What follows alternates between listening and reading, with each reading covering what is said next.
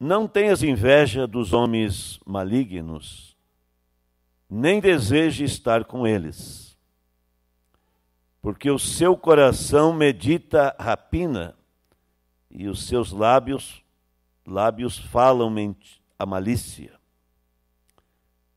Com a sabedoria se edifica a casa, e com o entendimento ela se estabelece. Pelo conhecimento se encherão as câmaras com todos os bens preciosos e agradáveis.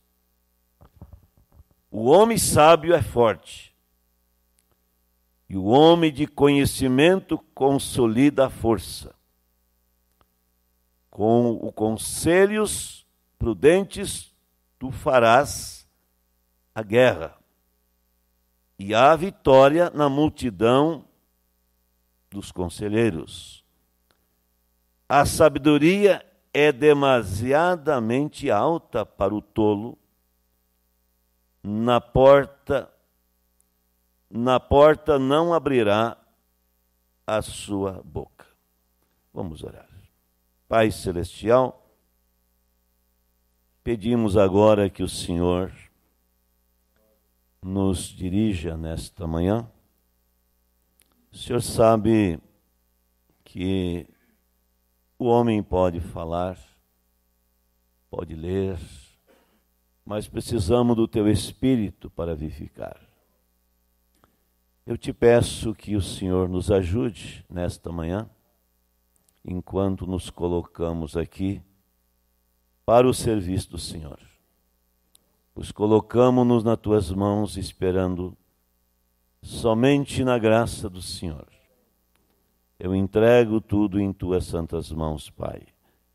Ao meu falar, especialmente a mim aqui, que o Senhor sabe, não mesmo, mesmo sou digno de estar nesse lugar. Como não há um homem digno, mas por graça eu estou aqui, Pai. E eu só tenho um desejo, e o Senhor ainda mais, que é ajudar teus filhos. Fazer com que as pessoas sejam ajudadas. No nome do Senhor Jesus. Assim entregamos-nos para o teu serviço, Pai, esperando na graça e misericórdia de nosso Pai Celestial. No nome do Senhor Jesus. Ao chegar bem mais perto de Deus, sentirei Sua mão me tocar ao chegar bem mais perto de Deus, ao chegar bem mais perto de Deus, sentirei Sua mão me tocar. Ao chegar bem mais perto de Deus. Sentirei como pluma nos ares, sentirei como nuvens a voar, sentirei Sua mão me tocar. Ao chegar bem de Deus. Aleluia. Louvado seja o nome do Senhor. Podeis assentar, irmãos. O Senhor os abençoe. Eu quero contar dois sonhos ainda, começando pelo último, que foi nesta manhã. Eu fico me acordando assim de manhã, olho o relógio, ah, vou ficar mais um pouquinho, né? E nesse inteirinho aí eu tive um sonho que estava ajudando a estabelecer uma casa. Era uma casa grande, era um prédio, e que ele tinha colunas, né? Mas que as colunas não estavam bem firmadas. Eu penso que tem a ver com o que nós vamos falar. Não é por isso, eu já tinha já tinha preparado para falar, mas eu creio que tem a ver. Eu tomo isso como uma, um sentido, né? é, eu eu estava ali, disse que a, a, tinha a coluna e tinha algo ali que foi colocado ao lado da coluna para segurar a coluna. É um, um pequeno pilar ali. Mas aquilo estava frouxo. E daí que eu disse, não, vamos tirar isso aí e vamos, e vamos dar outro cimentado, com cimento bem firme para segurar a coluna. Né? Então eu penso que tem a ver com o que nós estamos falando, que é como edificar a casa. Jesus disse que a casa tem que estar edificada sobre a rocha. Vamos pensar na nossa casa mesmo natural, a família. Que ela depende de você. Depende do homem e da mulher para que a sua casa seja bem edificada. Né? E, então, é, você tem que ter sabedoria para que a sua casa seja bem edificada. Aleluia.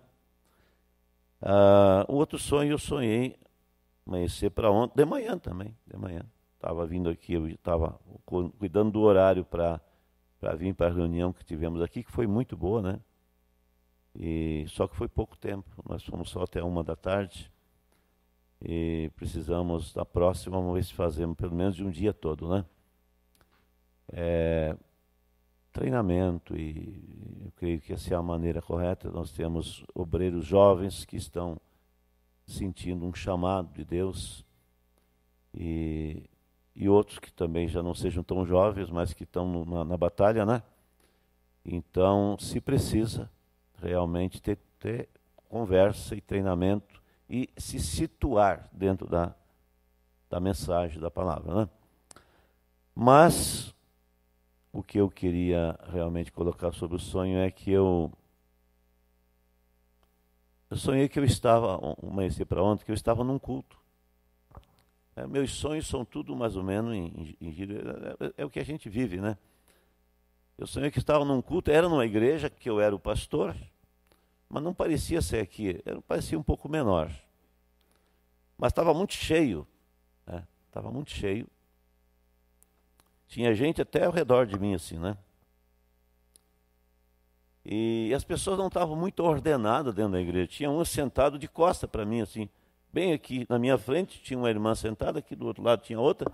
E aqui, como se fosse ao lado dessa casa, tinha outra sentada. Assim, meio tudo ao redor. Estava cheio demais o local.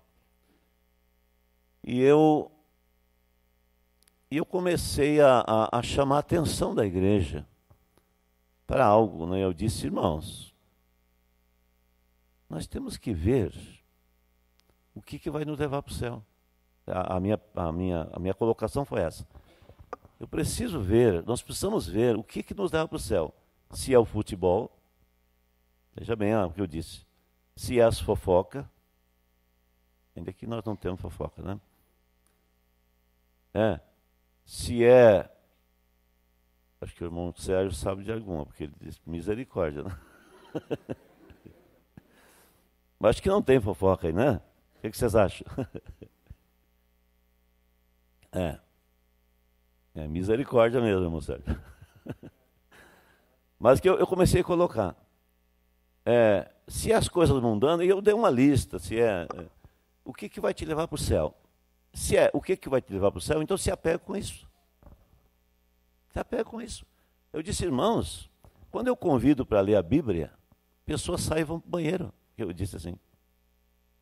E fico lá conversando no banheiro enquanto está se lendo a palavra. Eu espero que não está acontecendo isso, mas eu, pelo menos, é o meu sonho, né? Estou contando o sonho. E aí, nesse momento que eu estou falando, as duas irmãs que estavam ali, que eu conheço, sei quem é, mas eu creio que não tem nada a ver com elas, né? Não tem nada a ver com. É, é um sonho, né? Afinal. As duas irmãs, uma aqui e outra na minha frente, se levantaram para sair. Digo, mas o que, que é isto? Eu disse, o que, que é isto? Nem sequer terminamos, oramos para encerrar o culto, vocês estão levantando para sair. Aí a sentar de novo. Eu olhei para o lado, aquela que estava do lado, ela estava folheando uma revista. Uma revista dessas aí que tem de comercial de mulher, com modas e coisas assim, essas revistas aí, né? Eu via o rosto de uma mulher assim, ela folhando aquela revista. Até, até tem aquela imagem da revista, mas eu não, como a gente não, não fica sempre olhando, não, não, não sei, talvez eu podia saber eu tenho o nome da revista, mas não, o nome eu não vi, né? Estava folhando as folhas da revista, eu olhei para ela assim, fiquei olhando assim. Aí ela pegou e fechou a revista, né? Eu creio que tem um sentido, irmão. Não é por acaso um sonho desse. Quer dizer, as pessoas completamente desapercebidas do que está acontecendo. Isso me preocupou.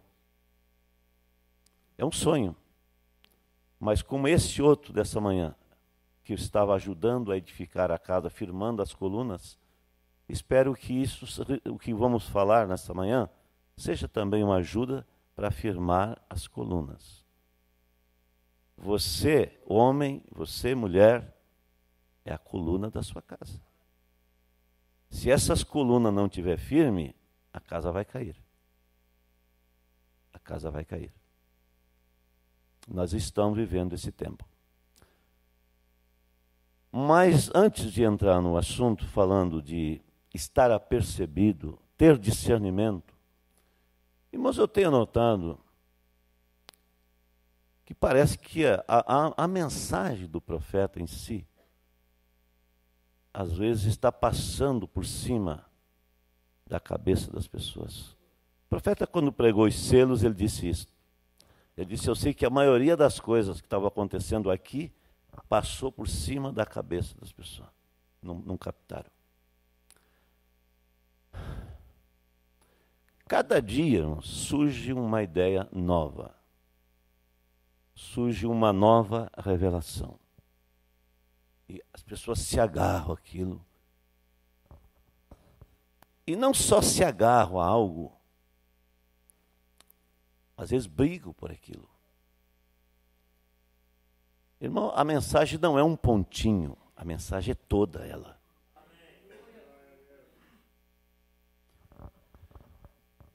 A mensagem é toda ela. Eu fico observando.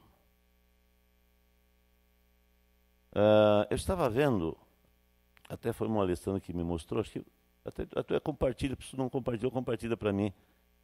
Claro que eu já vi, né? Mas só a, a nova versão ali. A, quando o irmão Jorge esteve no Brasil, que foi em Porto Alegre, numa escola, fizeram pergunta para ele sobre o assunto de ouvir, ouvir as fitas. Né? E o irmão Jorge é muito direto, assim. Ele disse: Isso não tem nada a ver com, com, com o que o profeta disse, isso é uma invenção humana. Ele usa a expressão, né? Aí pegaram esse, esse texto, foi, alguém compartilhou, e os outros contrários, então, já, o, o do outro partido, né? do outro lado, pegaram e colocaram duas citações do irmão Brana, dizendo: essas fitas é, irão. Essa fita é um, é um é ministério mundial e é uma maneira que Deus tem né, para levar a mensagem aí nas terras ímpias.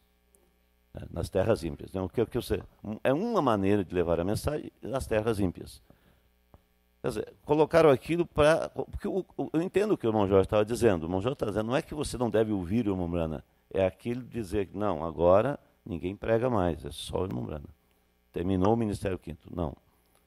O irmão está dizendo, é uma maneira de você levar a mensagem. Agora, pegue você uma fita do irmão Brano e vai evangelizar aí, é, com a fita, né, com a tradução, para ver se você evangeliza alguém. Né? Agora, esses irmãos, eles não estão querendo evangelizar lá fora, estão querendo evangelizar o da mensagem. Ó, você tem que ouvir o irmão Brano. Mas isso nós temos feito a vida inteira. e temos que ouvir o irmão Brano. E como devemos ouvir, né? Agora, não existe, o que o Jorge está dizendo, o que não existe é esse assunto querer colocar que os ministros não devem pregar mais, porque está ali, pegue pergunta e resposta número 3, está em ordem de conduta e doutrina, pelo parágrafo 204 por ali, Fizeram a pergunta, irmão Brana, é verdade que ninguém mais deve pregar? Só o senhor? Irmão Brana disse assim, misericórdia. Disse a mesma expressão que disse o, o, o diácono, irmão Sérgio. Misericórdia. Ele disse, eu sou só um. Ele disse, não, porque nós nos surpreendemos, porque domingo o irmão estava apresentando alguns ministros para o ministério. Ele disse, não, todos devem pregar, eu sou apenas um deles. Quer dizer, existe um centro. Devemos ouvir as mensagens como devemos ouvir. Mas não é tirar o lugar do culto só, só para ouvir as mensagens. Você deve ouvir direto, o tempo todo que você puder. Outra coisa, para começar, você já deve discernir que é, uma, um, é algo errado quando diz: esses aí que não estão só botando o irmão Brana são virginés. E já te classifico, já te condeno. Né? Se fosse dessa maneira, terminaria o ministério. Você só teria que treinar pessoas para ligar o aparelho lá para escutar o irmão Brana.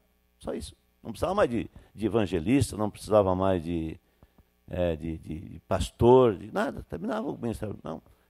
Existe o centro das coisas e você vê aonde leva isso. Então as pessoas fazem um, um, avivamento em torno de uma ideia que surge, né? É, até onde eu tenho visto, até o, o ontem até nós estávamos falando sobre isso, o irmão, o irmão Sidney estava confirmando, o irmão José tem dito, olha, estou contente que você aí em terras estrangeiras, onde você não tem uma igreja para congregar, que você está nos ouvindo os nossos cultos do tabernáculo. É bom, maravilhoso. É, onde você agora não deixe de, de congregar. Isso é o que o profeta disse. Se, se Deus te colocou um lugar para congregar, você não se compromete com outra coisa. Então, só, só uma, só para é, você lembrar isto, fique com o que o profeta disse. Você nunca vai encontrar o irmão Mano mandando, dizendo que deve tirar e que só ouvir as fitas. Não, o irmão Mano elogiava aqueles irmãos que pegavam as fitas dele, o irmão Kid, a sua esposa e outro, e iam nas casas levar para as pessoas escutar. Maravilhoso. Eu sei que para nós, com a tradução, você ia evangelizar colocando a fita do irmão Brana, muitas pessoas têm dificuldade, às vezes, para ouvir com, com o intérprete. Né? Você tem que falar. Você não precisa usar ali com o intérprete. Você, você tem que conhecer a mensagem e pregar a mensagem. É, você tem que pregar a mensagem. Não precisa, ah, não, só a fita. Não.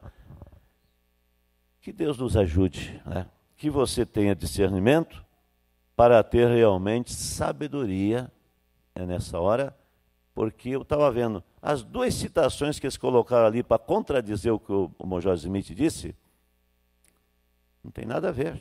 Está perfeitamente certo. O profeta disse que isso é, um, é uma das maneiras para levar para o mundo, né? para as terras ímpias, né? que as pessoas conheciam que é uma profeta. Depois que você evangelizou a, a, pessoa, que ela já sabe que existe um profeta, tudo bem. Aí você deve, olha, você pode ler as mensagens, você pode ouvir o irmão Brana, nós temos a voz dele gravada. É, tudo tem que ter uma, uma sabedoria. Pergunte para esses, né, os, os, os, tapes boy aí, brasileiros, quantos eles já ganharam para a mensagem, né, usando, a, a, rodando as fitas. Né? Não, eles estão tentando ganhar você, né? Então que você, para, não, agora só tem que ouvir o irmão Brana. Não. Sempre nós quisemos ouvir o irmão Brana. Eu, quando peguei a primeira fita do Irmão Brana em inglês, não tinha ainda, né? É, lá no início, eu gastei aquela fita ouvindo, só ouvindo mesmo em inglês, eu, eu chorava ouvindo. Que coisa, está ouvindo a voz do profeta, que maravilha! Mas tudo tem o seu lugar, né? Tudo tem um centro, né?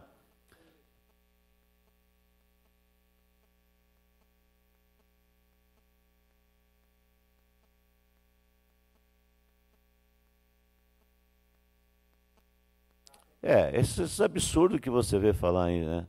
É, nem, nem, o, nem o irmão Brana e nem o irmão José falou isso, né? Que tem que se ligar lá, né? Não é denominação, né? Para começar, nós não somos denominação, né?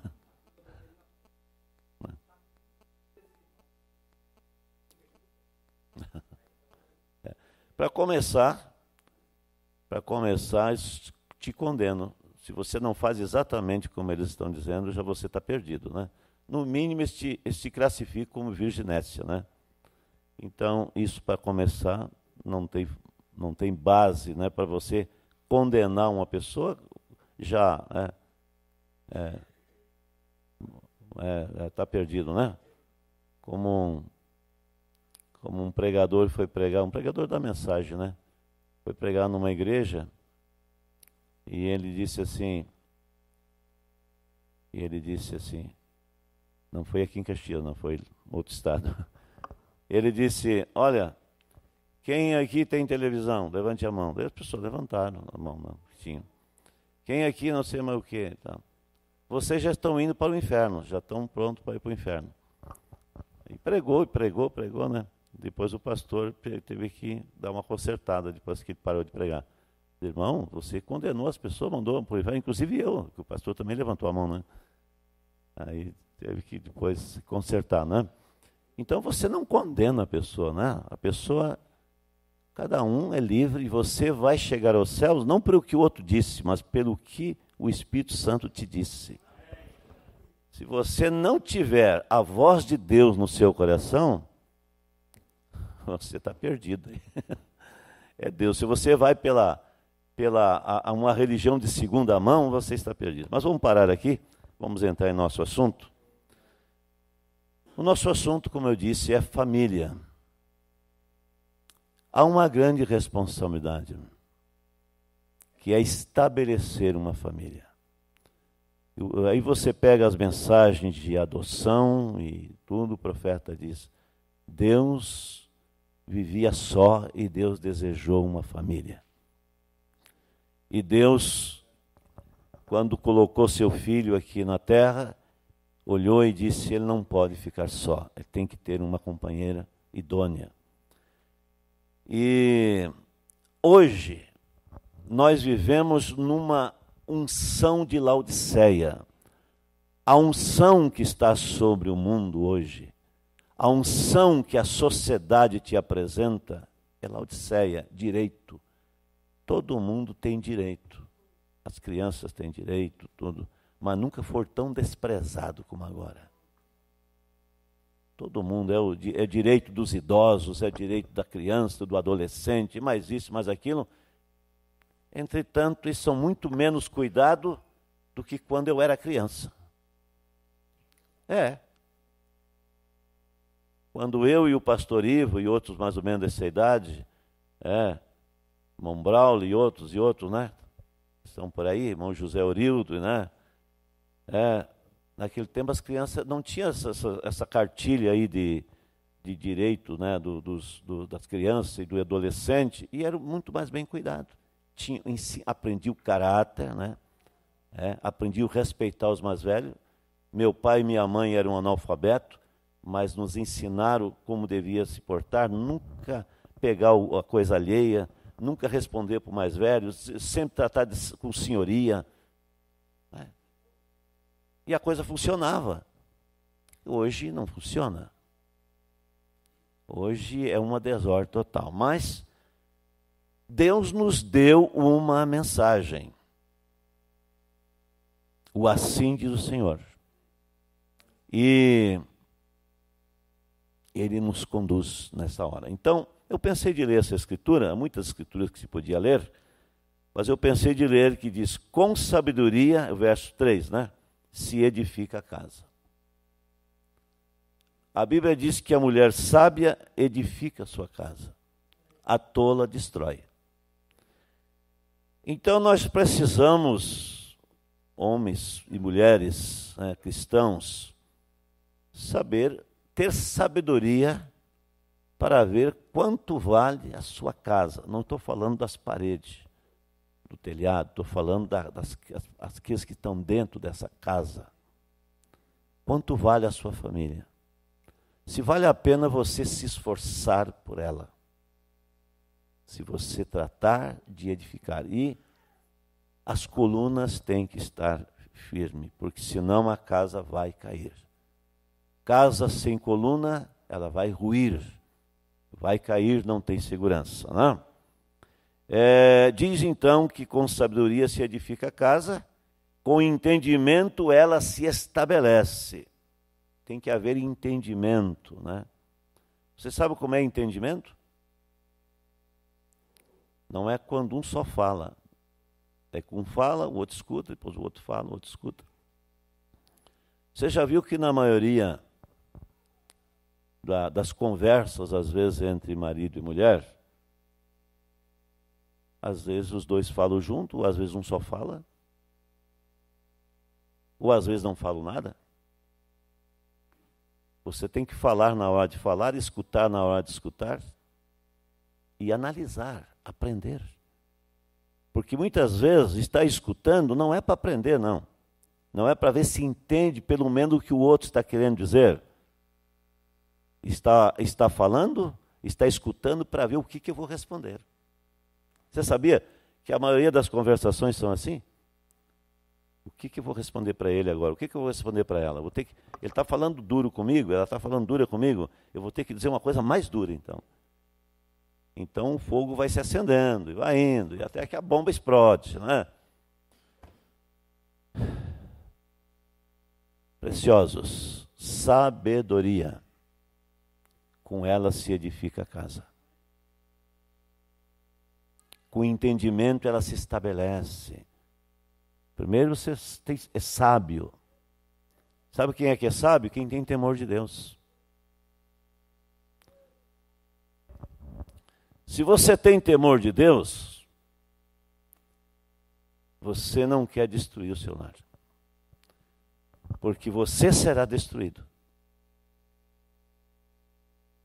Mas eu não vou entrar muito nesse detalhe porque eu quero falar em outros cultos depois sobre casamento e divórcio não quero entrar em casamento e divórcio. Eu quero me fixar aqui só na, na relação familiar entre marido e mulher. E eu, tenho, eu, eu, eu encontrei entre. É, é, engraçado falar isso. Esses dias eu estava caminhando lá dentro da, do meu escritório e de repente eu vi cair um papel no chão. É, uma, é anotações. Eu peguei. Eu tinha, estava escrito uma parte, uma escrita à mão, né? O que estava escrito à mão foi difícil de ler, né? Mas daí tinha um que estava escrito a, a máquina, né? Com a velha máquina que eu tinha, né? Aí eu fui ver, sabe de quando? Já lá dos anos 82, 81, 82. E eu estava anunciando um culto em Veranópolis. Pastor Ciro, alguém lembra quando o pastor Ciro Medonha esteve em Caxias? Ninguém lembra. Ó, oh, olha lá. Vocês perguntam para o Moerto. lembra que ano foi? é. É, eu creio que foi aí por os anos 81, 82, né? Eu estava marcando o culto em Veranópolis, tal dia tal, estou indo para Veranópolis, né? Aí eu pensei, que coisa, como é que pode? Estava em algum lugar, eu não vi. Acho que eu estava dentro de uma Bíblia, ou dentro de um livro, eu acho, né? Caiu. Eu guardei, né? Acho que até, não sei se eu não tenho aqui, né? Vamos ver se eu tenho aqui. Está aqui, ó. Esse lado aqui foi escrito à mão, né? Mas aqui tava, foi escrito à máquina, assunto da mensagem. Aqui. Aí eu estava vendo. Olhei aqui embaixo, dia 13, em Veranópolis, né? Pastor Ciro, né? Pastor Ciro. É, Santa Ceia, dia 14 de abril. Era em abril, né? Só que não diz aqui o ano, mas era por essa data que eu lembro quando o pastor Ciro visitou aqui, né? Eu acho que só estava o Moerto no culto aquela vez, né? Não devia ter mais alguém, não sei, né? Mas é muito tempo, era muito pouco também. A igreja era um punhadinho, né? Cabia na tua Kombi, não, irmã? O Moene botava toda a igreja na Kombi dele, em cima da Kombi, tinha uma Kombi aberta, né? É, era aberta, né? Era aberta? Ah, tinha fechada, né? Às vezes você botava na fechada. Era, era uns 10, 12, né? Conseguia, apertava um pouco, colocava tudo na Kombi, né? Não tinha carro naquele tempo, né? Só tinha. Eu, eu, tinha, meu, eu tinha um Fusca, né? Ah, já tinha um Chevette amarelo. Claro, o Chevette eu comprei em 70. É. Ah, e o irmão Lauro com a veraneia. Sabe quantos carros tinha em Caxias? Moendo tinha uma Kombi, né? é, eu... Mas então, veja, é, coisa importante. Então, eu achei esse livro, não sei, é um livro antigo, tratando sobre para compreender-se melhor no casamento, até diz aqui no matrimônio, né? Foi escrito por um cristão, é, Paul é, Turner. E eu quero tomar algumas frases, alguma, algumas, alguns escritos né, desse escritor, só falando sobre a família, sobre o casal. Eu gostaria de nós tomar um tempinho nesta manhã. Ele começa aqui, logo aqui na, na, na parte introdutória, ele diz aqui, ele nos fala, sem, sem falar a mesma, a mesma língua, mas o encontro foi feliz porque ambos queríamos o encontro.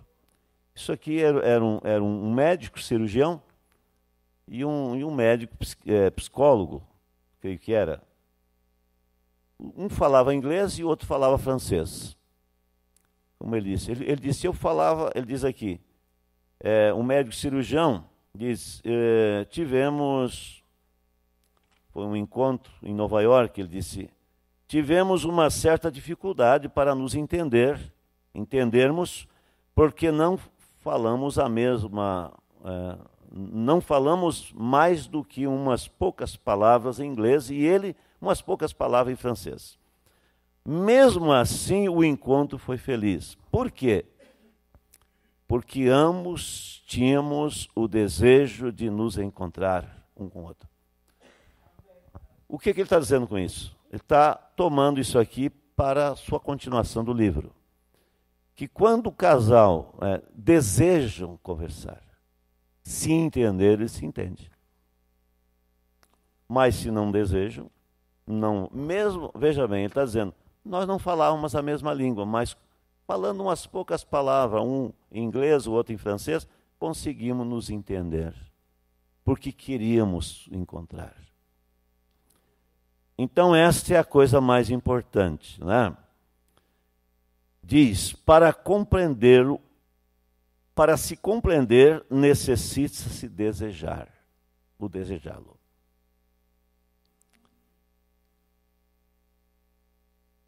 Se você parar um pouquinho, você vai ver que realmente as pessoas conversam, mas não desejando entender o outro. Quer que o outro me entenda, mas eu não quero entender ele. Eu quero que ele me entenda. É?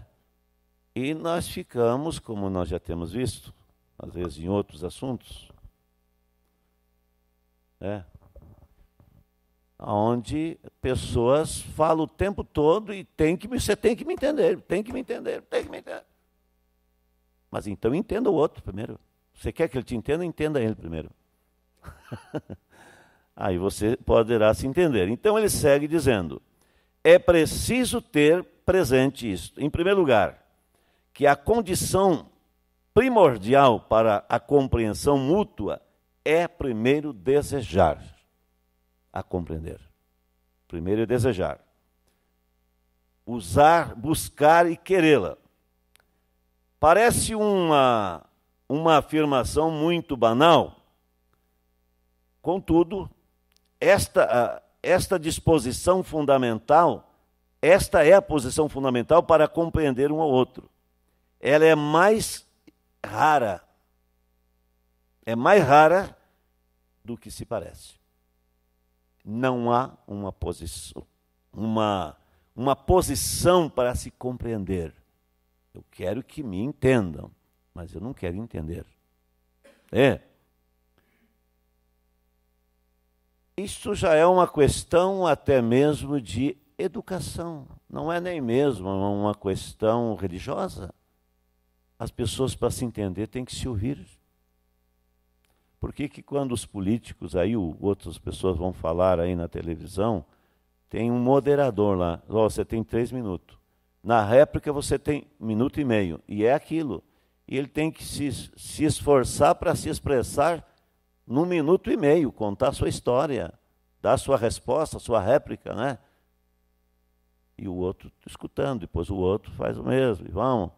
Porque senão vira uma bagunça. O ser humano é, é, é danado mesmo, né? Desculpa a expressão, né? Mas eu quero, que, eu quero que me compreenda, mas eu não quero compreender, né? Então veja, escute só as conversações desse mundo, diz aqui o escritor. Escute as conversações. Veja entre poucos casais. Em sua maior parte são diálogos de surdos. Diálogo de surdo, né? Falando para um surdo. Cada casal fala sobre tudo que tudo se expõe suas próprias ideias para justificar-se fazer-se valer e acusar o outro. São bem poucas as trocas de opiniões. O que, que você acha disso? O que você pensa? Não. São bem poucas. A maioria é fazer entender o que eu estou pensando. Eu não interessa o que você pensa. Ele segue dizendo: é, uma vontade é, que dá é, de uma vontade real de se compreender o parceiro, quer dizer, precisa de uma vontade real de se compreender. O cirurgião do qual eu falei estava apaixonado por seu trabalho no hospital em Nova York. Aqui vem o caso do, do, do encontro. Por que, que ele estava desejoso? Ele estava precisando de ajuda. Esse cirurgião precisava de um psiquiatra, ou psicólogo, melhor, não é? ele estava precisando de ajuda. Na verdade, isso aqui é um. Ele é um, um, um homem que é para ajudar famílias, né? Ele diz, eu estou usando a palavra psicólogo, né? Só havia uma pequena, um pequeno desgosto. A esposa dele era muito nervosa. A esposa do cirurgião, ele estava muito feliz com o seu trabalho, mas a esposa era muito nervosa. Tá? Vamos descobrir por quê? Ora, um dia, o psiquiatra que atendia sua esposa o chamou e lhe disse: Você não se ocupa o suficiente com a sua mulher. Por isso ela está nervosa. É? Será que tem alguma nervosa por aqui? O marido não está se ocupando com ela o suficiente? Então ele disse: Como vemos, o conselho do psiquiatra foi muito sensato.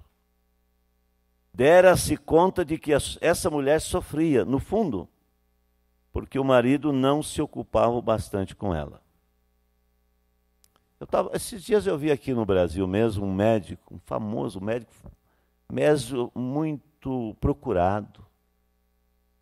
Ele se ocupou tanto com o trabalho que ele virava de turno direto, direto, direto, e vinha, passava semana no hospital. E de repente ele não encontrou mais a mulher em casa. Aí ele começou a ficar gordo, não é, não é gordo que a gente diz, né? Obeso. Foi ficando obeso, obeso, ao ponto que ele não conseguia, não conseguia se levantar da cama. Ele tinha que consultar as pessoas na cama mesmo. E daí depois já tinham que trazer comida, e muita comida, né? Porque quanto mais come, mais fome dá, né? Aí, por fim, mostraram ele se tratando da única coisa que ele tinha uma filha, que a filha se ocupou para cuidar dele. Irmãos, há coisas que valem mais do que dinheiro. Às vezes as pessoas se apegam demais no trabalho e jogam fora a coisa principal. Você vê aquela historinha da a mulher que estava passando na frente de uma caverna com sua criancinha, o seu bebezinho, e uma voz disse: Entre aqui e pegue o que quiser, mas não se esqueça do principal. Ela entrou na caverna e estava cheio de ouro, pedras preciosas, diamante, tudo. E ela foi pegando, largou a criança de um lado e foi botando no seu avental ali, ou não sei como, alguma coisa ali, e foi ajuntando, e a voz disse: Cuidado, pegue o que puder, o que quiser, Mas não se esqueça do principal. E ela foi carregando, foi carregando. E disse: Olha, você tem tanto segundo para sair agora, mas não te esqueça do principal. Ela saiu ligeiro, carregada de joias, de, de ouro, de prata, de pedras preciosas, e a porta se fechou. E ela esqueceu o filho lá dentro. O que, que adiantou o ouro e as joias? Trabalhe, faça o que você puder, mas não se esqueça do principal. A Bíblia diz que aquele que não cuida da sua família é pior do que o infiel. Paulo está falando para os crentes. Isso não é uma mensagem para os pecadores, é para os crentes. Aquele que não cuida da sua família é pior do que os, os infiéis e negou a fé.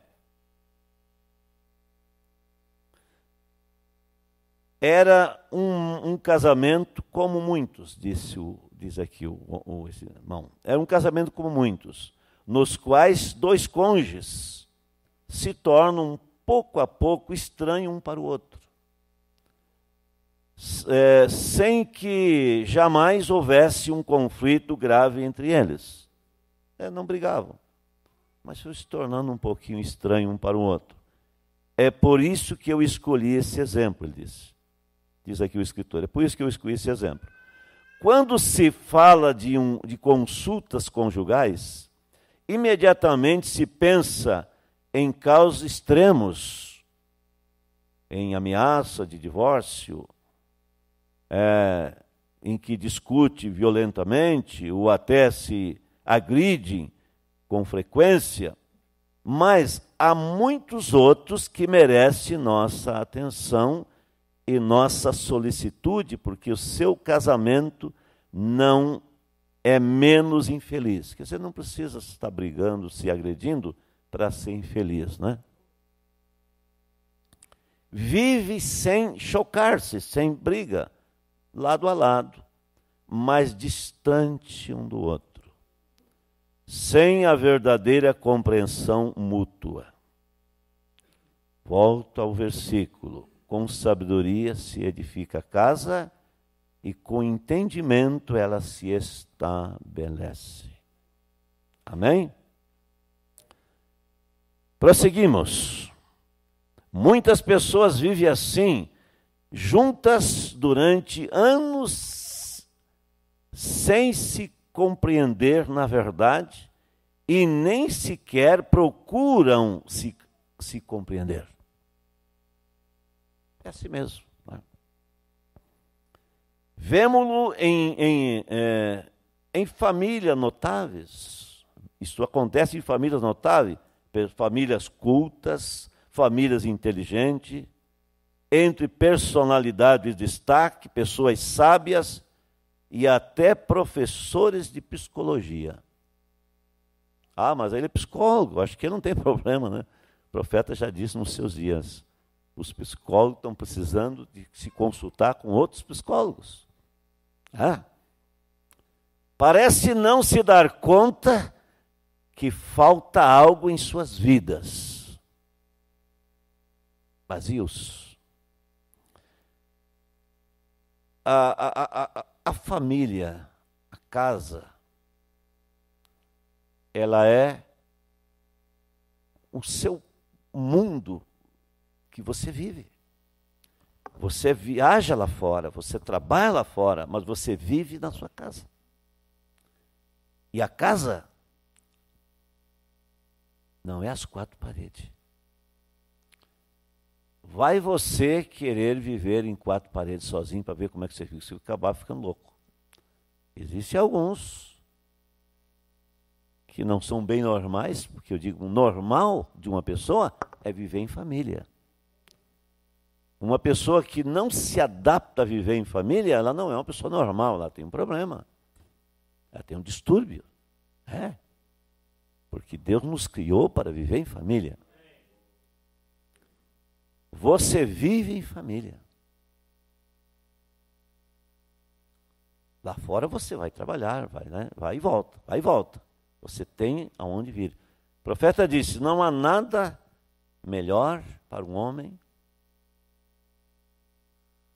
voltar para casa depois de um dia de trabalho, talvez teve problemas com o chefe, problema com seus negócios, cabeça está saturada, voltar para casa e encontrar sua esposa, sentar, tirar seu sapato, descansar, conversar com a esposa.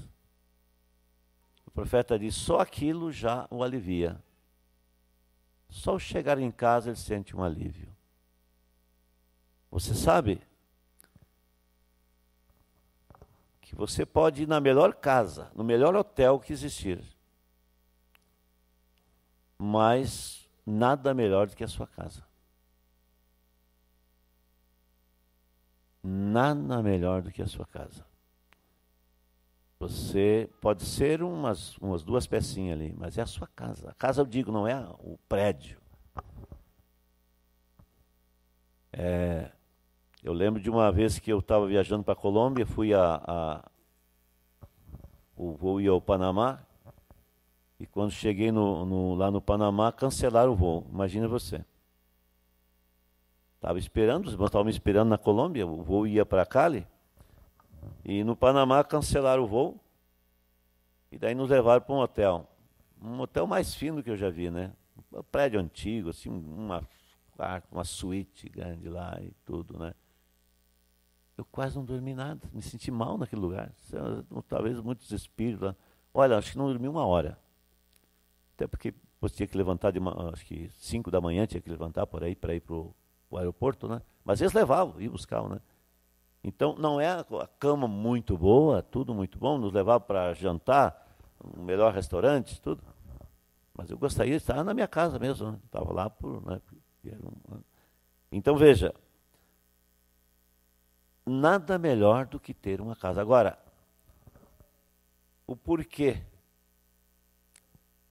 Um homem que sai do serviço e vai para o bar conversar com os amigos, e tomar um aperitivo, tomar um seja o que for lá, algo está mal na sua casa, porque senão ele ia direto para casa. Estou falando não propriamente só em cristão, mas numa maneira natural, né? Então, a pessoa precisa desejar o seu lar, mas isso, isso se edifica como, como disse um, um terapeuta familiar, pastor, né? Dizendo, o, a família não vem pronta, se constrói. Você não encontra uma família construída pronta, você constrói sua família. Sua família reflete o seu caráter, reflete a você. Né? Então, se precisa edificar o lar, edificando a casa é o nosso assunto. Ah, aos que fizeram cursos para noivos sobre a vida sexual, estudaram sobre psicologia, às vezes até um pouco demais. Quantos podem dizer, depois de várias dezenas de anos de vida comum, que seu lar tem correspondido ao que você esperava? Quer dizer, o curso resolveu? Não. É Deus, na verdade.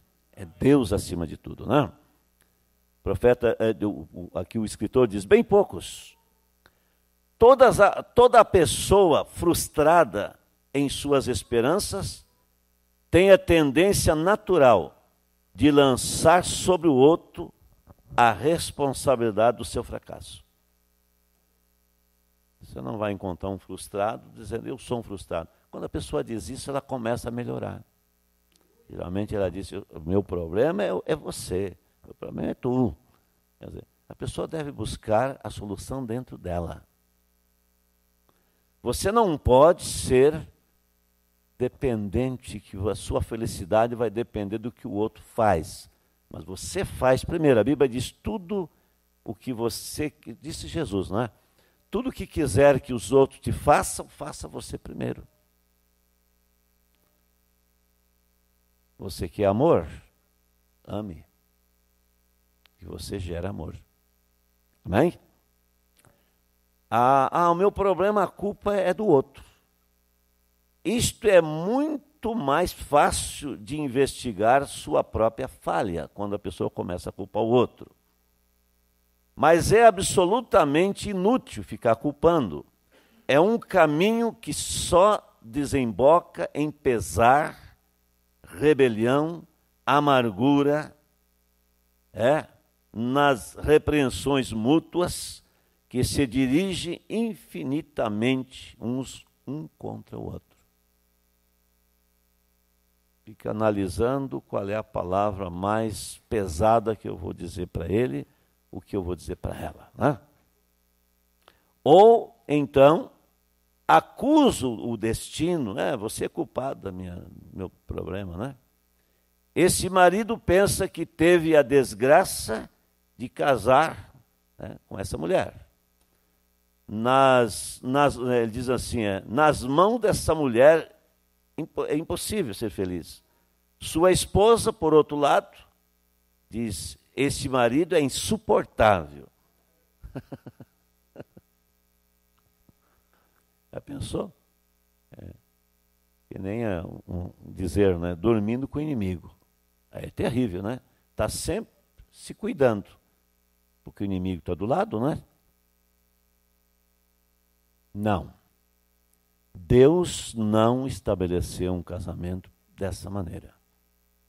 Deus estabeleceu um casamento com sabedoria. Para um cuidar do outro. É? Então, para evadir-se ou fugir da sua responsabilidade, cada um acusa o caráter do outro. Sua saúde nervosa, seu, seus defeitos e a educação, a influência do meio é, muito diferente que, que o formou.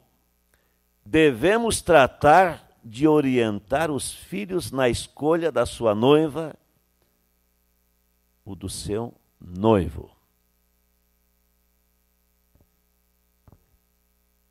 Você quer saber como é que que aquela moça é? Olhe para sua mãe. Olhe para sua mãe. A Bíblia diz tal mãe, tal filha. Claro que às vezes muda um pouco, mas eu digo assim, em um sentido, a Bíblia diz isso, né? É, a Bíblia tem razão. É, em geral, como os pais vivem, os filhos também procuram viver. Eles estão formados. É, e, e, principalmente, aquela criancinha pequena, 3, 4 anos, né, ou até menos, ela está gravando tudo. Ela pode estar tá brincando lá, mas aquela que está acontecendo com os pais, ela está gravando. Está gravando tudo, até inconscientemente, está formando o seu caráter. Aquilo que está acontecendo com seus pais, não é? Então, devemos tratar de orientar os filhos à escolha. Mas seria uma, uma utopia completa crer que o êxito, o êxito de um casamento e a possibilidade de plena compreensão mútua depende, antes de tudo, do, dos dados de conhecimento no começo. Não. O casamento é, sobretudo, o que se faz no dia a dia. Não é apenas a. Você tem que buscar, como eu disse, a orientação né, da família, da pessoa. Ontem mesmo estava conversando com uma jovem, estava buscando orientação quanto a um, a um, um, um pensamento de um outro jovem, né? Eu disse, primeiro procure saber como é que ele é na igreja.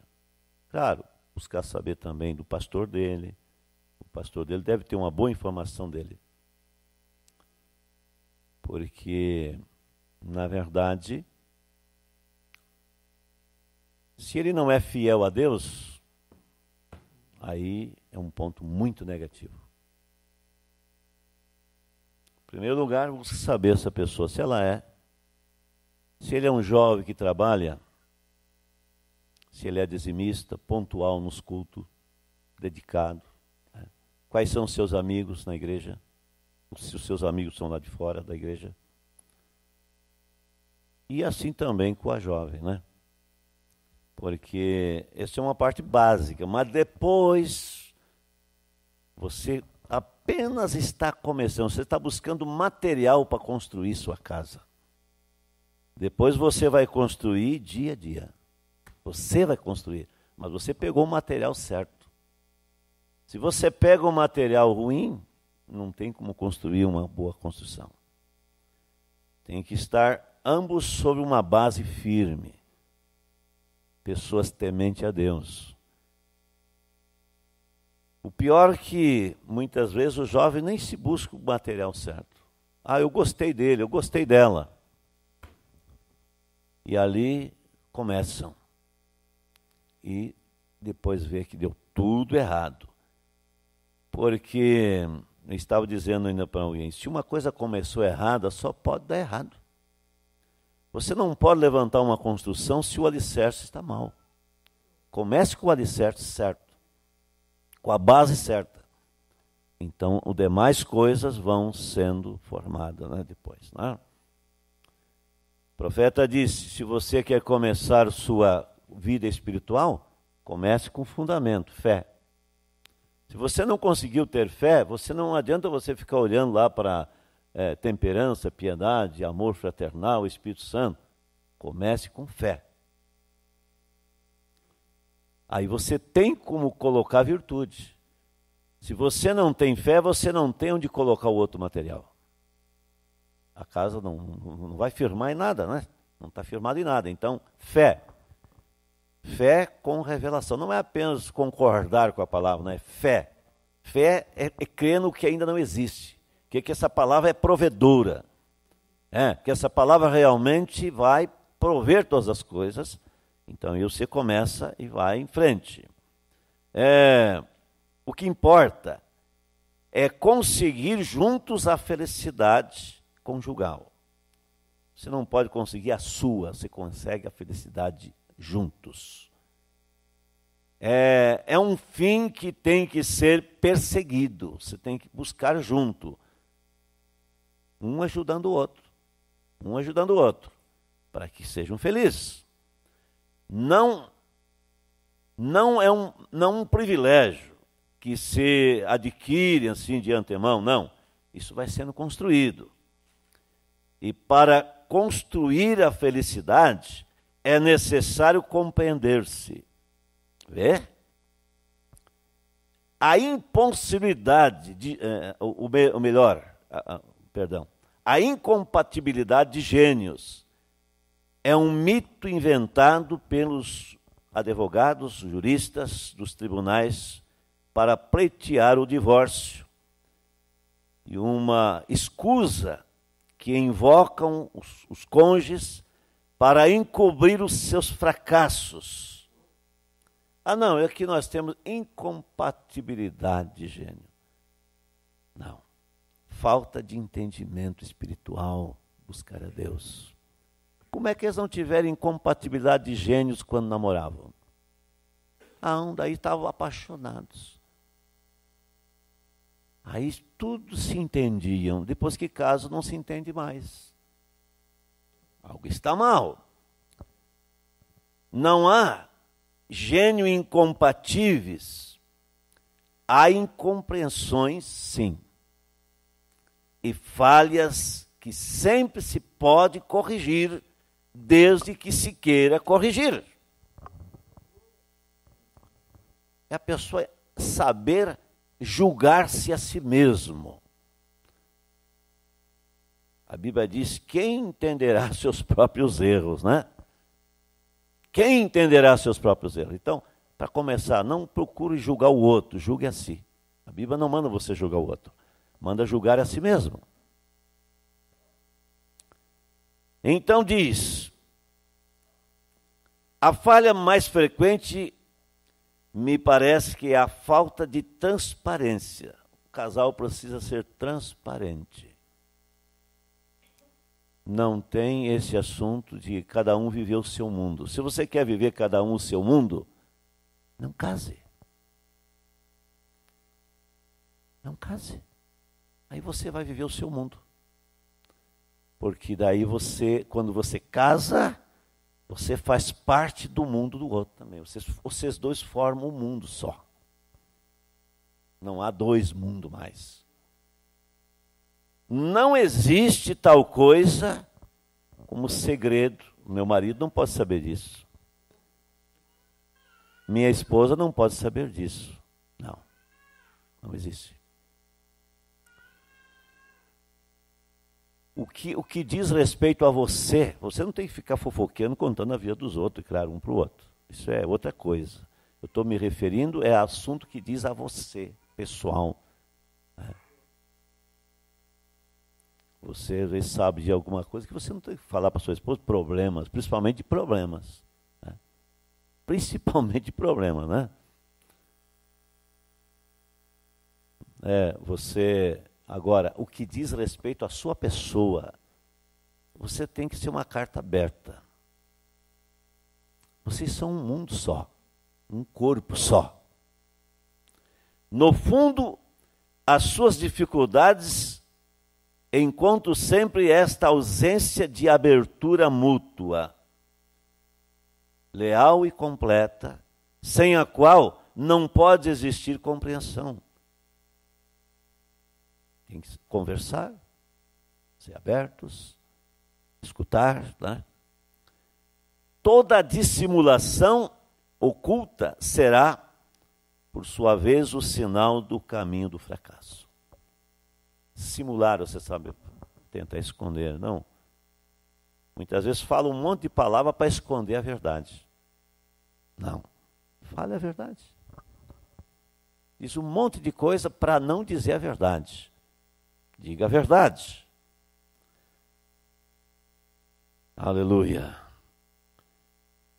Como é que uma pessoa, como é que um homem e uma mulher trai o seu cônjuge e depois pode estar ali, acho que está tudo bem. Não está tudo bem, não, senhor.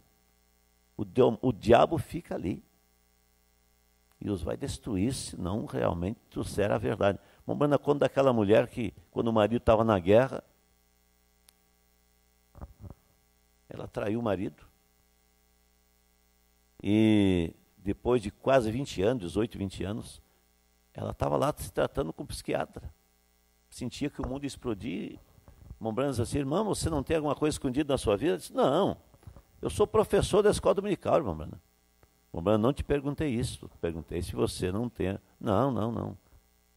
Aí depois, você sabe, Deus mostrou em visão para ele, e ele disse: Mas eu vejo você um tempo assim com alguém que não era seu marido. Por favor, não fale isso para ninguém, meu marido não pode saber. Ele vai me deixar se souber isso. Minha filha, que já está moça agora, vai ficar escandalizada comigo. Veja bem, ela viveu a vida toda camuflando, camuflada, escondendo a verdade e estava morrendo. Mas daí o irmão Branham disse: Não, não, não. Mas depois o profeta disse: Vá, chama o teu marido. Ele também tem algo para te confessar. Não, meu marido é pregador. não sei, ele é um cristão, não sei o quê. Não, chame ele, era verdade. Não, a verdade liberta. Só a verdade liberta. A mentira escraviza. O diabo gosta da mentira. É, gosta da pessoa que falha em contar a verdade. E ele segue dizendo: pouco a pouco se obscurece o vidro transparente. Quer dizer, você sabe, um vidro assim quando fica. As mulheres entendem bem disso, né? Passa uns dias sem limpar, né? Um mês por aí, né? né? já não dá para enxergar do outro lado, já fica só um vulto lá assim, né? Então, assim a vida da pessoa. Pouco a pouco o vidro que era transparente fica embaçado. Já nem se enxerga direito mais, é um vulto só, né? Hã? Você está entendendo? Seja verdadeiro, Seja transparente. Diga a verdade sempre. Que deve ser, o, o profeta, eh, eh, o escritor diz aqui, essa vida transparente deve ser o vínculo entre o marido e a, e a esposa. É, começam a tornar-se estranho um ao outro. Ah, nem se conhece mais. Né? Perdem aquela unidade absoluta que é a lei divina do casamento. Uma unidade absoluta. Quando Deus instituiu o casamento, ele disse: já não serão dois, mas um só.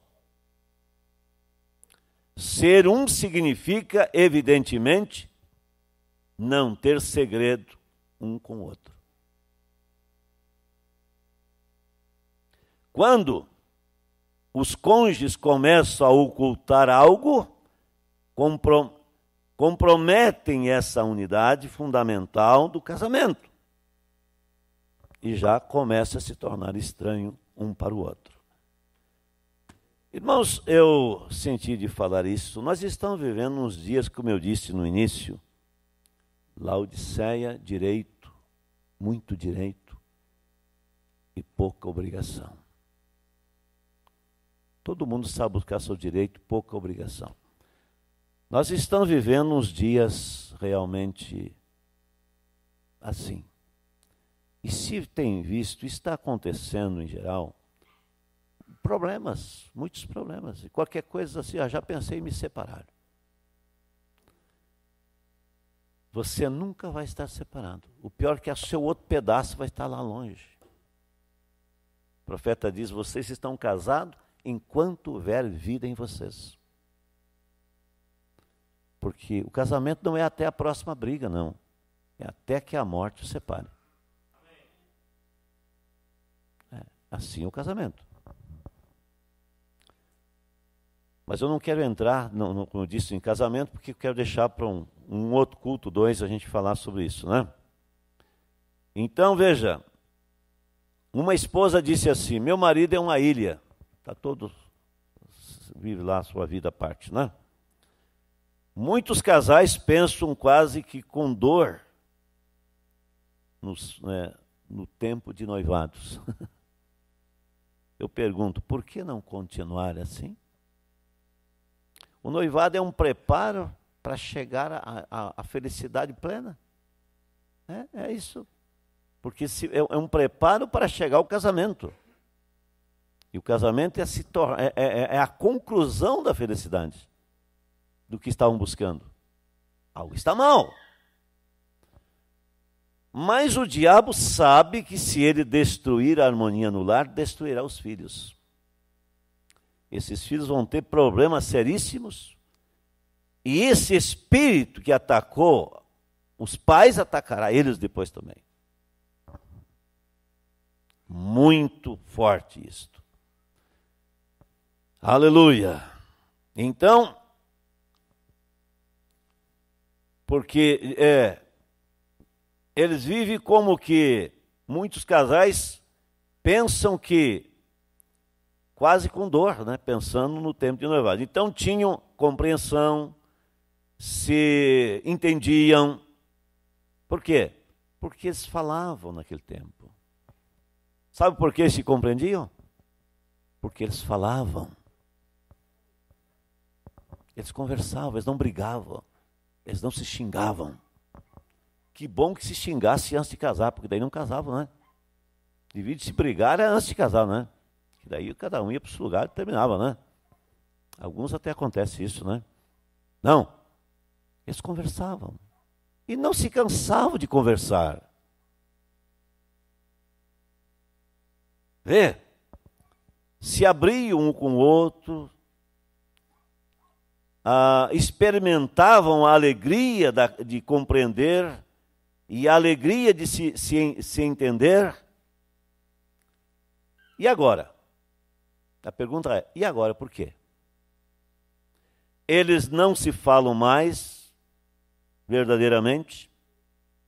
Pode falar de muitas coisas secundárias, banais, exterior a, a eles mesmos, mas aquilo é que é essencial daquilo, da, da coisa íntima da vida deles, não falam, já não se diz nada, o verdadeiro diálogo está interrompido. Só há um intercâmbio superficial, assim. Existe até casais que já não falam de nada. Semanas sem dirigir uma palavra um ao outro.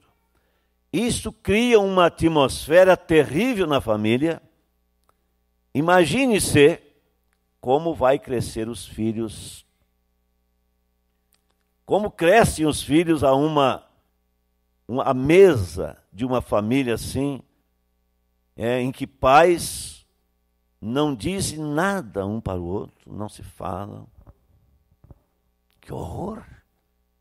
Parece um pouco de um filme de horror. As crianças chegam ali, os pais são mudos, não falam, não é?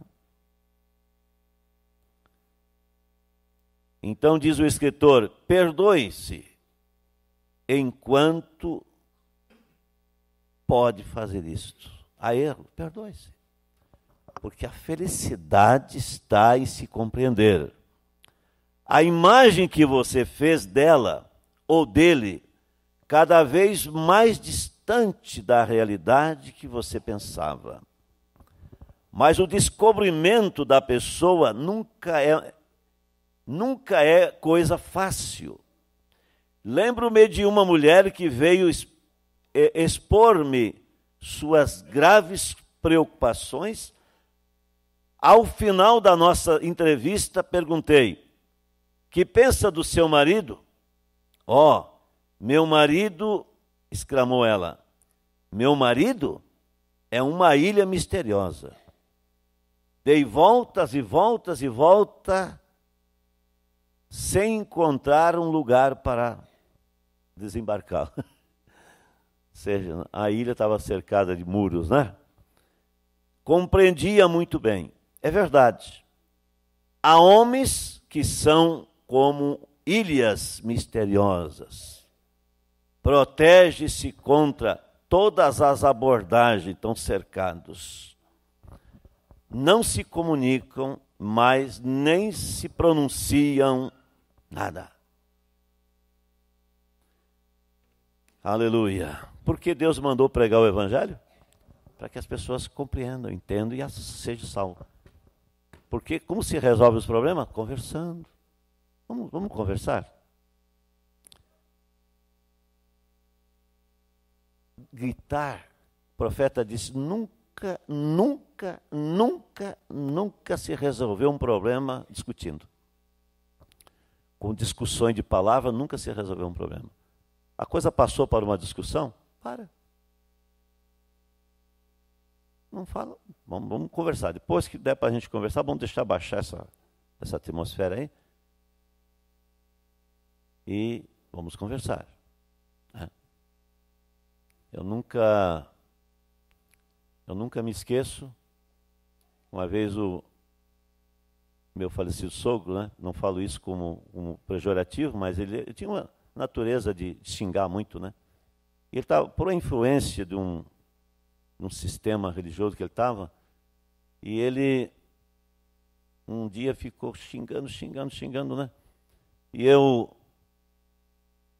depois do culto, né? aquele dia eu tinha um culto de ceia ali na, ali na, na, na Júlia de Castilho ainda, né? poucos, né, era bem menos naquele tempo a igreja. E eu tinha um culto, era tarde, não sei que hora que nós começávamos, mas era de tarde, acho que era três, quatro horas, não sei. Sei que era mais cedo. E eu cheguei em casa, cheguei junto com ele. Tinha xingado umas duas, três horas, ficou xingando, eu morava na parte de baixo da casa, ele morava em cima, xingando nós, xingando, xingando, xingando. Tudo quanto era palavra. Aí quando chegamos junto, quando nós chegamos de noite, ele tinha chegado à igreja dele e eu cheguei junto, colocava o carro na mesma garagem. Eu disse para ele, é, Mocildo, nós precisamos conversar. Ele disse, quanto quiser, mas deu um grito, né? Digo, então vamos conversar agora. Começamos a conversar, né? naquele tempo só ele tinha telefone, ele tinha uma empresa, né? Naquele tempo o telefone era coisa de luxo, né? Ele tocou o telefone, ele foi lá atender o telefone, era problema na igreja dele lá. Ele foi lá, falou um pouco lá e, e eu subi junto, fiquei do lado dele. Terminou a conversa, eu viemos para a cozinha e eu continuamos. Isso era sete da noite, nunca me esqueço.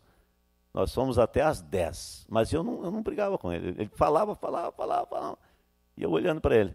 Aí ele dizia, o senhor não esqueceu alguma coisa? Eu acho que eu ia ter mais, mais falha do que isso que você falou. ele dizia mais um monte de coisa. Depois das dez, ele, nós terminou o assunto, pegou, fez um chimarrão e foi nos oferecer um chimarrão. aí, aí desci, né? ele era parente do Hermônio. Né? Brincadeira, Hermônio. Ah, aí desci, isso era próximo do fim do ano, passou um mês, um pouco. Eu nunca vi o meu sogro pedir perdão para ninguém. Eu estava sozinho, minha, minha esposa tinha descido lá para Gravataí com a minha sogra. Ele desceu lá, bateu na porta e disse: Neri, me perdoa aquelas coisas lá. Né? Nunca mais discutiu comigo. Mas eu não discuti com ele. Mas fiquei escutando, tranquilo. Você tem que ter graça naquela hora para você ouvir. Né? Se o outro quer falar muito, você não fala. Dois falando não, não vão se entender, né? É, você viu aquele ditado que quando um, um, burro orneia, o outro baixa as orelhas? É, senão eles se dão coice, né? Então, é, é uma boa maneira. Dois falar ao mesmo tempo não dá, né? Então, espere um momento para você falar. Você me dá, né? Que nem um, que nem um irmão que estava estava falando com outro, né, um da mensagem, e o outro estava pregando uma certa doutrina para ele, bah, bah, bah, pregando, pregando, pregando. Aí ele disse assim: Você me dá, você me dá é, é, minuto para me falar? Ele estava falando sozinho, né? Você me deixa falar um minuto? Aí eu te digo como é que eu creio. Aí ele disse: Tá, então pode falar. Aí ele começou a falar, ele interrompeu, disse: Não, não, mas não terminou meu minuto ainda, eu só falei 30 segundos. As pessoas têm uma maneira, uma mania de interromper o outro, porque o outro disse uma coisa que ela não gostou. Aí ela quer dizer outra coisa para. Não, deixa de falar tudo. Se você quer, para não esquecer do que você não concordou, pega uma caneta, vai anotando tudo. Para depois, na sua vez, você fala. Se fizer assim, irmão, vai dar certo vão se entender, cada um por sua vez. Conversa tranquilo, né? talvez tomando um cafezinho, um chimarrão, um chá, não sei, né? Um pouco d'água. E vão conversando. Porque é assim que as pessoas, pelo menos inteligentes, não precisa ser espirituais, inteligente faz. É. Por isso não há muita compreensão entre os casais. Falta não é, não é, não é somente espiritualidade, falta inteligência. Ninguém vence o outro gritando, xingando. Você pode falar educadamente, você pode mostrar o que é que você não gosta. É, e também se examinando do que, que realmente você tem feito, se, se redimir, se admitir os seus erros, né? Daquilo que você tem falhado. Esta é a maneira. Porque isto aqui vai passar. Isso vai passar, isso não é para sempre. O profeta diz: ainda que você tenha o companheiro ou a companheira errada aqui desse lado, do outro lado não vai ser errado. Não quer dizer que vai ser o mesmo, porque se não é um não for salvo, não vai estar lá. Mas de toda maneira, Deus tem o certo lá. Se for salvo, é o mesmo, né? É. Agora, realmente, faça a coisa certa. Com sabedoria, né? Com sabedoria se edifica a casa. Com entendimento, ela se estabelece. Sabedoria. É isso que, que Provérbios aqui, o sábio Salomão está dizendo. É? Sabedoria. A casa pode ser edificada. Só mais um pouquinho. Já que a gente está conversando, é, as coisas passam rápido. Eu não, eu não cheguei nem na metade do que eu queria falar, mas nós vamos encerrar já, mais um minutinho só, né? É, não, na verdade, domingo é para adorar o Senhor. Nós não, não temos culto, né? E olha que eu desejo uma hora dessa ter culto domingo de tarde. Ah, para quê, pastor? Deixa a gente descansar. Você sabe que o culto é a melhor coisa para se descansar? É. Eu tive uma experiência no sábado passado, não nesse de ontem, no outro, quando nós fomos a Bento e fomos a Veranópolis, eu estava extremamente cansado. Eu tinha dormido quase nada de noite, eu sei o porquê, mas estava ruim mesmo. Mas eu não gosto de falhar em compromisso. Tinha um compromisso de ir, vamos lá. Fizemos o culto ali em Bento. Eu já saí um pouco melhor dali. Fomos para Veranópolis e eu saí descansado. Estava ah, bem, estava tranquilo, vim dormir tranquilo depois. Culto para mim é, é refrigério. Aleluia. Então diz, diz ele, para a compreensão é preciso se expressar também. Se não se fala, não se compreende. E se se fala, um fala e o outro ouve. Um fala e o outro ouve. Isso é comunhão. É. Se um só fala, não, mas tem que um falar e o outro ouve, depois o outro fala, o outro ouve. Né? Aí a compreensão. Ah, eu, eu me preocupa, me preocupa muito, quando eu vejo cristãos, cristãos que amam a palavra, que creem na mensagem, e ambos pensam até em separação. E às vezes chego até isso. Irmão, isso destruirá a vida de vocês. Isso destruirá a família isso trará desgraça sobre os filhos. Você não pode simplesmente, não é um, não é uma, uma, um contrato empresarial que você vai lá e desfaz. É. Custa um pouquinho hoje, é, é mais fácil registrar a, empresa do que desfazer, né? mas você consegue. Mas o casamento é até que a morte separe. Profeta não importa que, que você vai lá e consiga um papel lá que está divorciado, você continua casado. Quando você deu a palavra, você está casado. Profeta disse, eu, disse que não ia falar de casamento e divórcio, senão já estou falando, né? Deixa eu parar aqui, porque tem mais uma, uma longa, um longo assunto depois sobre casamento e divórcio. Se a primeira condição para se compreender é desejá-lo, como começamos com o assunto do médico lá, né? é desejar se entender. Vê, a segunda é falar.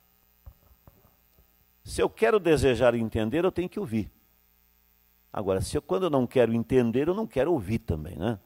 O se eu penso que o que vai ser falado não é do meu agrado, eu não quero ouvir. Então eu quero atrapalhar para que não fale, não fale, não fale, não. A segunda é, primeira é, é desejar e a segunda é expressar-se. Todo ser humano tem necessidade de se expressar.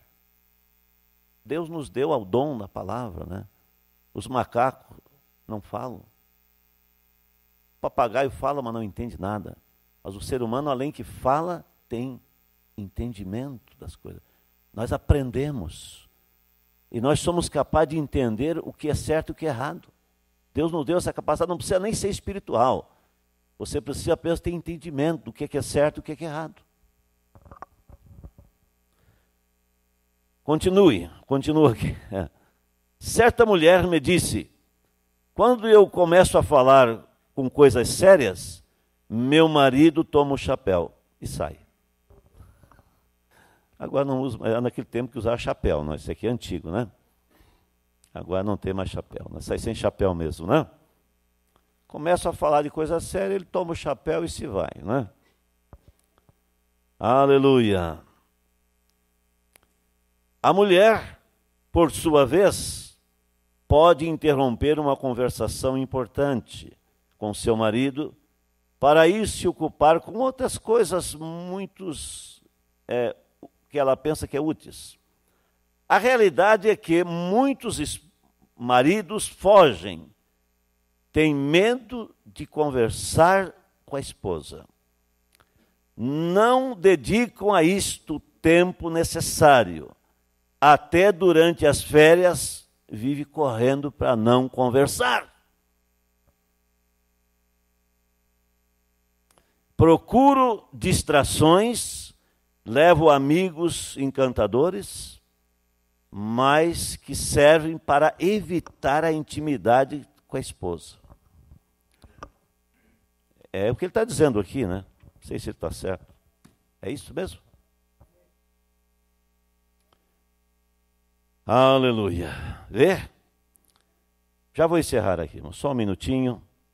E nós vamos então encerrar aqui essa parte. Se Deus nos permite, nós seguiremos num outro, né? Seguiremos num outro, num outro culto. Na realidade, ocultam sua, seu, seu pensamento mais íntimo atrás de ondas de palavras. Uma abertura total, indispensável para uma compreensão profunda. Exige muita coragem. É, precisa coragem, né? Uma longa entrevista com uma mulher que me falava do seu marido que de fato me falava mais dele do que dela mesma. Às vezes a pessoa pensa, não, é, essa é a questão, olha no outro só. Você tem medo do seu marido? perguntou. Somente quando é, quando nosso contato for bem, ela podia falar-me com, com franqueza. Sim, eu tenho medo do meu marido, ela disse. Mas não creiam que somente as mulheres têm medo. Os maridos também têm medo de suas mulheres. Eles não querem problema, não, então eles fogem. Homens, porém, são mais orgulhosos do que as mulheres e lhes custa muito admitir que estão com medo. Os homens não disseram amém, né? É que é verdade isso? O homem tem medo da mulher? Aleluia. A mulher, frequentemente, exibe seus temores. Fala mais fácil, né? Enquanto o homem os oculta, né? oculta-os. Né? Sempre é, quer ter a última palavra e oculta o seu temor de ser contrariado, contradito sobre discursos verbais. Não quer ser contrariado, não? Né? que é esse temor? Creio que são dois. Primeiro, o temor de ser julgado, de ser criticado. Nós não gostamos de ser criticados. É? Temos medo de ser criticados. Temos tememos o, o, o juízo da crítica, justamente porque queremos ser também estimados e amados. Então não gostamos de ser reprovado. Né? Ninguém gosta né, de ser reprovado. Eu vou concluir com isso aqui.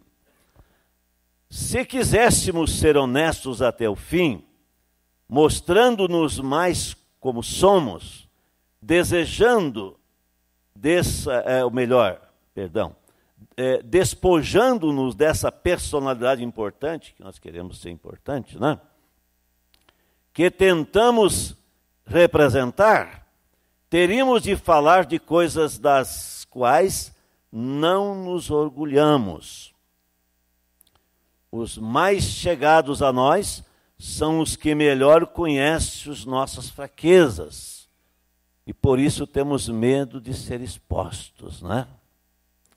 Os que têm censura sobre nossas falhas, que estão fundadas em nós, então tentamos esconder. É verdade que muitos casais estão prontos para julgar-se mutuamente. Um julgamento responde o outro. Cada um para se defender das ofensas um do outro. Denunciam o coração, né? denunciam um ao outro. Cada um denuncia o outro para se defender do outro. Denunciam o seu coração em voz alta, é, fa faltas do outro. Então, é, é claro que se sabe disso, eu como pastor, às vezes, você, quer, você vê, às vezes você fica horas conversando com um casal, já como aconteceu, e em nenhum momento um diz assim, olha, eu, realmente eu estou errado. Diz assim, não, ela está errada. Ele está errado. E daí então, então fala tudo que ele está errado. Então fala, fala, fala, fala, depois o outro vem, fala, fala, fala. Tudo, tudo. É difícil chegar a um acordo quando só um está errado, quando ambos estão errados, mas para si mesmo não. Mas o momento que você admite que você está errado, termina o problema. É. Como, como Davi. O profeta chegou para ele e disse: Rei, queria que o senhor me desse aqui o seu, o seu veredito. Havia um homem, havia dois homens. Um homem rico com muitas ovelhas. Muitas ovelhas. E tinha um outro pobrezinho perto dele. Só tinha uma ovelhinha. E ele amava muito aquela ovelha. Mas ele até, até amava tanto com a ovelha que até dormia com ela. Vivia com a sua ovelhinha. Mas um dia chegou na casa do homem rico um, uma visita, e ele foi lá e pegou a ovelha do homem, a única ovelhinha que ele tinha, e matou. O que, que você acha desse homem? Disse Davi, ficou irado, né? E disse: Esse homem tem que morrer. Ele estava falando por parábola, né? Aí o profeta disse: Mas eu já orei ao Senhor por ti intercedi por ti, tu não vais morrer. Esse homem é você. Você tem 500 esposas, né? Ele só tinha, o soldado só tinha uma, que você mandou para a guerra para ficar com a esposa dele, né? Você não vai morrer, mas vai pagar caro. Vai ter problema, vai ter um preço caro. Então, é tão fácil julgar o outro, né? Mas quando chega a nossa vez, é tão difícil, né? Admitir que nós estamos errados. Vamos nos colocar de pé. Vamos orar ao Senhor. Eu espero que essas coisas, essas conversas endereçada à família, com sabedoria se edifica a casa, com entendimento ela se estabelece. Busquemos sabedoria. Nós temos uma mensagem. Nós temos a verdade da palavra. Essas coisas não são brincadeira. Essas coisas são real. Essas coisas acontecem conosco.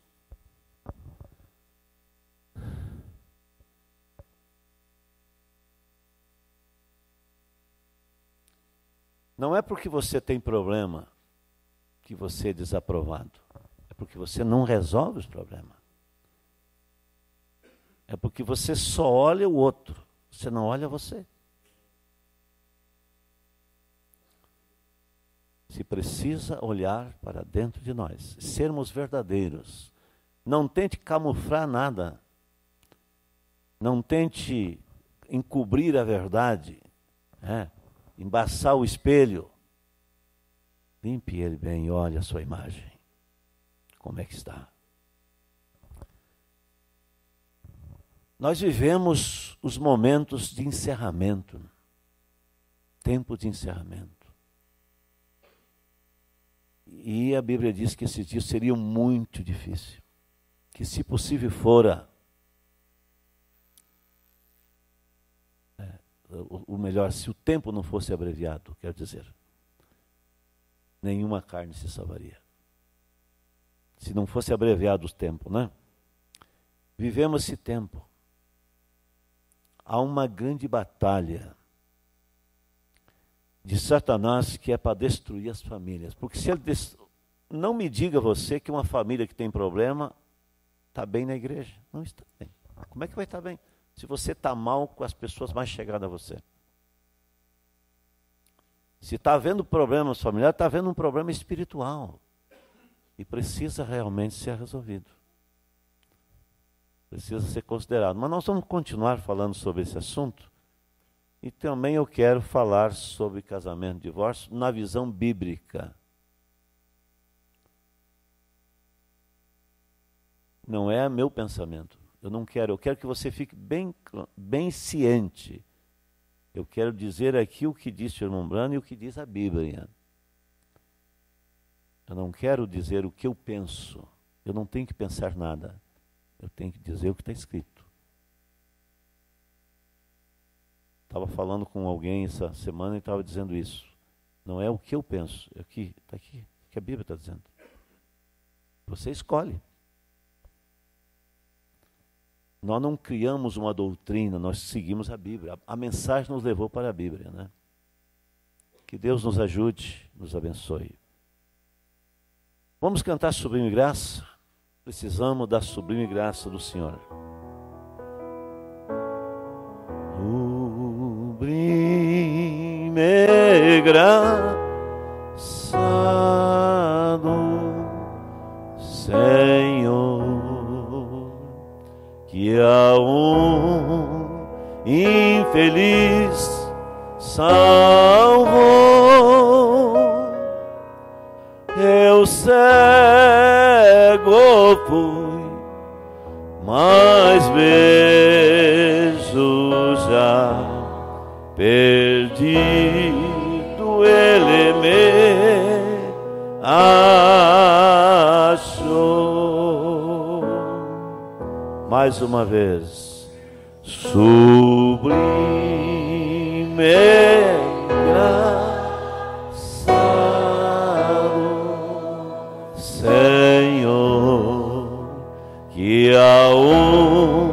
infeliz salvou.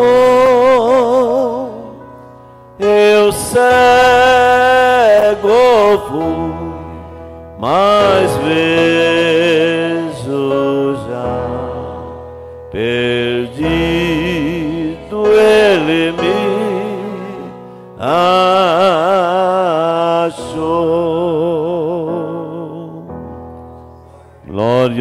do Senhor Jesus. Vamos nesse momento para a oração. Considere isso. Talvez pareceu um pouquinho cansativo para alguém. Quem sabe enfadonho, espero que não. Mas nós precisamos dessas coisas. Irmão. A solução dos nossos problemas começa na sua casa. A solução para os problemas da igreja começa na casa, começa na família. Se não há solução na casa, não há solução na igreja. Se não há bons pais e mães, boas famílias estabelecidas, não há bons membros da igreja e muitas outras coisas. Reconheça Pense em você, não pense no que o outro tem feito. Pense em você. O que você tem feito, como você tem agido. Tem você preenchido pelo menos esse pouquinho do que nós vemos aqui? Você se enquadrou dentro disso? Então, admita.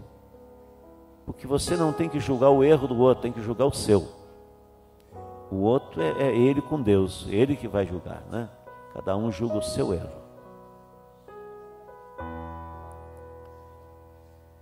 Vamos orar ao Senhor. Pai Celestial, amado Salvador, nos achegamos diante de Ti, Pai, depois dessas palavras que falamos aqui, esperando que seja de ajuda de edificação, Pai, para seus filhos, para essa igreja, para aqueles que estão na internet, para aqueles que ouvirão ainda, que acessarão, depois vão ouvir, que possa ser de ajuda, Pai, que possa ser para cada um julgar-se a si mesmo, considerar aonde tem falhado e corrigir. E aí começa a vitória. Aí começa a estabelecer a casa. Aí começa a firmar as colunas que estavam frouxas, como eu vi no sonho desta manhã.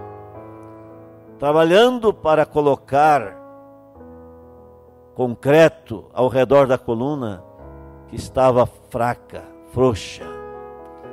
Pai Santo, em nome do Senhor Jesus, eu te suplico nesta manhã, Ajuda-nos, Pai. Ajuda-nos a compreender nossos próprios erros. Ajuda-nos a julgar a nós mesmos. Não há homem perfeito, não há mulher perfeita. E nós erramos. Com quem mais nós erramos é com quem está mais perto de nós. Oh Deus, no nome do Senhor Jesus, estamos aí, Pai, final da era, parece que o tempo já está afindado, vivendo já sob a longanimidade do Senhor, e ainda estamos errando em coisas tão pequenas, ainda estamos falhando, Pai em coisas tão insignificantes que deveriam ser coisas práticas. Envia, Senhor, o avivamento sobre os lares, sobre as famílias, que em vez de ficar na internet ou na televisão, posso ter um culto doméstico, posso se assentar, conversar,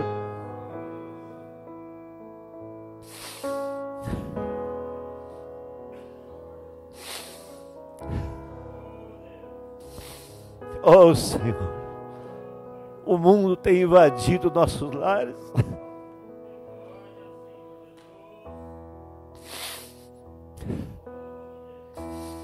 Oh Pai Santo.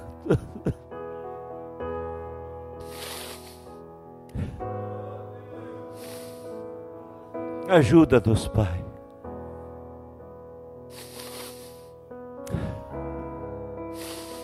Em nome do Senhor Jesus. Suplico a tua graça, Pai. Que as pessoas possam ter prazer de se assentar e ouvir o profeta, ouvir a mensagem, conversar sobre as coisas de Deus. No nome do Senhor Jesus, te agradeço, Pai, por Sua infinita misericórdia, Pai. Em nome de Jesus. Estão entregues aos teus cuidados, Pai.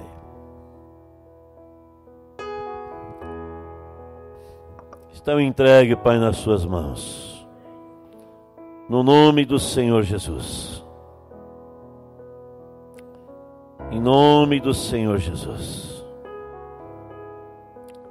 Em nome de Jesus. Deus os abençoe.